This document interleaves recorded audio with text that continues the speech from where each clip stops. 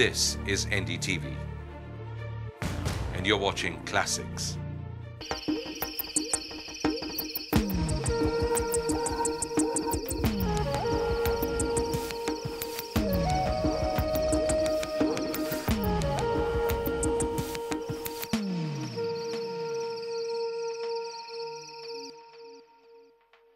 नमस्कार safari India के सफ़र पर चलने को हम तैयार हैं एक ऐसा सफ़र जिसमें उन जानवरों की खैर खबर ली जाती है, जो खत्म होने की कागार पर हैं। आज मिलेंगे एक ऐसे जानवर से, जिसकी नस्ल इतनी पुरानी है कि उसने डायनासोर का ज़माना भी देखा है और आज भी रौब से हमारे नदियों में रहता है, यानी कि मगरमच्छ। अब मगरमच्छों की संख्या और इलाके काफ़ी घट गए हैं। तो चलिए हमारे साथ चेन्नई के मद्रास क्रोकोडाइल बैंक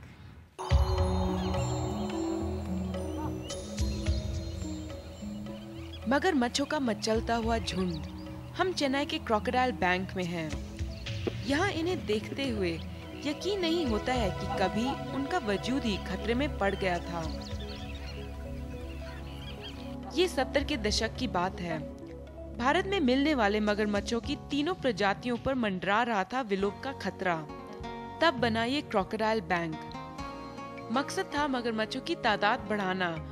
और उन्हें उनके कुदरती घर में वापस भेजना। 1976 में जब ये बैंक शुरू किया गया था तो यहाँ सिर्फ़ 20 मगरमच्छ थे। लेकिन ब्रीडिंग कार्यक्रम इतना कामयाब रहा कि कुछ ही सालों में 800 मगरमच्छ वापस नदियों में छोड़ दिए गए।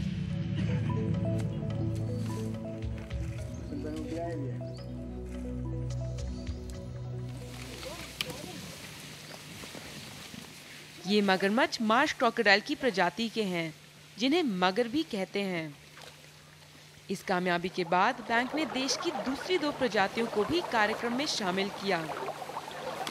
ये हैं घड़ियाल और सॉल्ट वाटर क्रोकोडाइल अब तीनों का परिवार बड़ा हो रहा है। इनके विलोप के कागार पर पहुँचने की वजह वही रही है जो दूसरे कई जानवरों को लेकर रही है।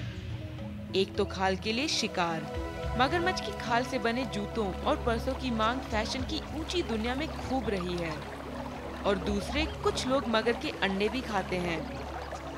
और साथ में उनके इलाकों पर इंसानी कब्जा। मद्रास क्रोकोडाइल बैंक 1976 में शुरू किया गया था। उस समय भारत में मगरमच्छों की संख्या एकदम कम हो गई थी, अवैध शिकार की वजह से। भारत में तीन तरह के मगरमच्छ पाए जाते हैं एक है सॉल्ट वाटर क्रोकोडाइल जो उड़ीसा और वेस्ट बंगाल में पाया जाता है। दूसरा है मार्श क्रोकोडाइल मगर। ये पूरे भारत में पाया जाता है और तीसरा घड़ियाल, उत्तर भारत में पाया जाता है। दुनिया भर में मगरमच्छों की 23 प्रजातियाँ खोजी गई हैं। इनमें से 14 इस बैंक में मौजूद हैं। इन सब का ब्रीडिंग कार्यक्रम चल रहा है और दुनिया भर के लिए ये जेनेटिक बैंक का भी काम कर रहा है।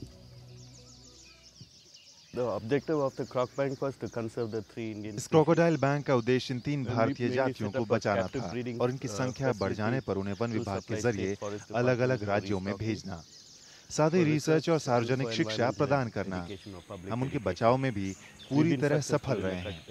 उन्हें जंगल में छोड़ दिया गया है। हमें उनकी ब्रीडिंग क्षमता में एक बड़ी सफलता भी मिली है। And uh, we call what we have an embarrassing breeding success where the muggers lay two clutches of eggs in a year. और ये रहा घड़ियाल। बैंक बनते समय देश में बस 50 घड़ियाल रह गए थे। इन्हें घड़ियाल इसलिए बोलते हैं क्योंकि नर घड़ियाल पर ये घड़े जैसे नथुने पाए जाते हैं। घड़ियाल उत्तर भारत की नदियों में ही मिलते हैं। इन्हीं नदियों के ज़रिए ये बांग्लादेश, नेपाल और पाकिस्तान भी पहुँच जाते हैं। इनका मुख्य आहार मछलियाँ हैं। उत्तर भारत में इन्हें गंगा देवी का वाहन मानकर पूजा भी जाता है, लेकिन ये आस्था भी इन्हें नहीं बचा पाई। हज़ारों घड़ियालों को उनकी खाल के लिए मारा गया था। इनकी ब्रीडिंग में सफलता पाकर क्रोकोडाइल बैंक ने ऐसे ही कार्यक्रम दूसरे राज्यों में भी शुरू किए।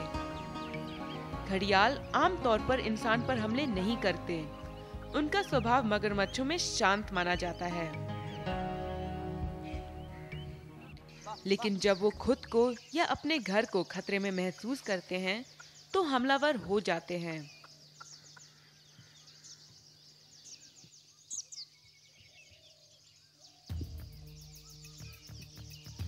हम इस नर घड़ियाल के काफ़ी पास चले गए और उसे हमारी मौजूदगी पसंद नहीं आई, लेकिन वह पानी में ही रहा। हम शायद उसे ज़्यादा खतरनाक नहीं लगे। वैसे आज भी घड़ियाल अपने प्राकृतिक घर में कम और चिड़ियाघरों में या इस तरह के बैंकों में ज़्यादा हैं। अब इनका ब्रीडिंग कार्यक्रम रोक दिया गया है, क्योंकि ये सवाल उठ खड़ा हुआ कि इन्हें छोड़ा कहाँ जाए। आखिर उन्हें किसी नेशनल पार्क या संरक्षित इलाके में ही छोड़ा जा सकता है, और ऐसे इलाके बहुत कम बचे हैं।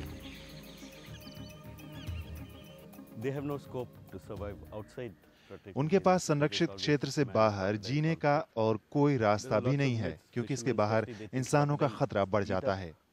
इस विषय में बहुत सारी भ्रांतियाँ भी हैं। मछुआरे मानते हैं कि मगर सारी मछलियाँ खा जाते हैं लेकिन तथ्य तो कुछ और ही कहते हैं। उनके मुताबिक जहाँ मगरों की संख्या ज़्यादा होती है मछलियाँ भी वहीं ज़्यादा पाई जाती हैं। क्योंकि मगर दूसरी मछलियों को खाने वाली मछलियों को ही खाते हैं जो काफ़ी धीरे घूमने वाली होती है जैसे कैटफिश इससे अन्य मछलियों की संख्या बढ़ जाती है जिससे मछुआरों को फ़ायदा ही होता है। Conservation, crocodile conservation faced was uh, not being able to let crocodiles live with man or man live with uh, crocodiles.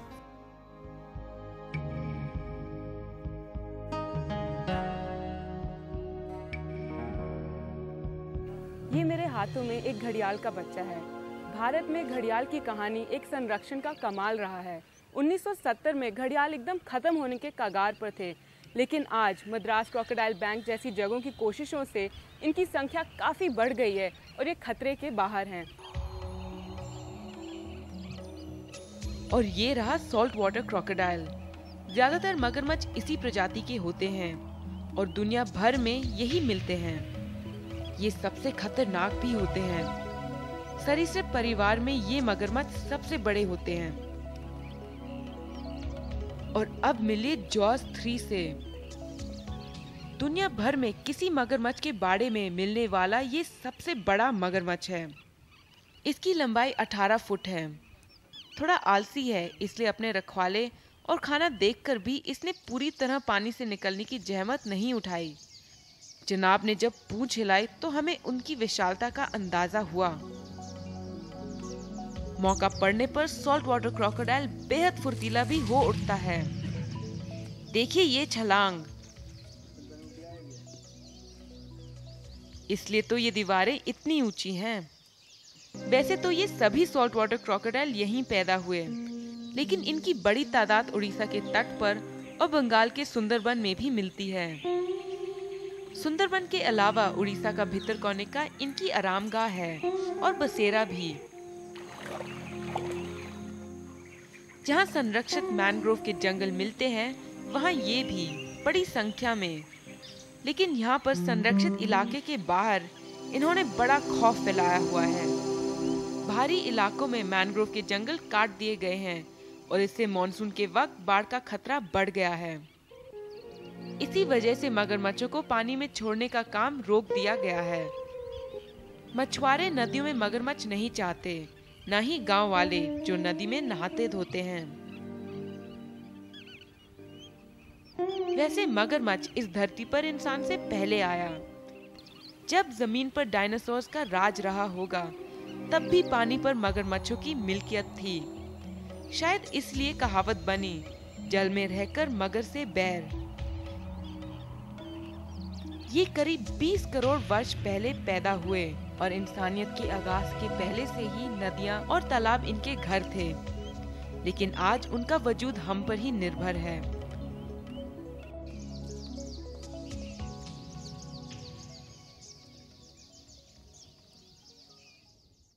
अभी कहीं जाइएगा मत। ब्रेक के बाद हम आपको मगरमच्छों के बारे में कुछ दिलचस्प बातें बताएँगे।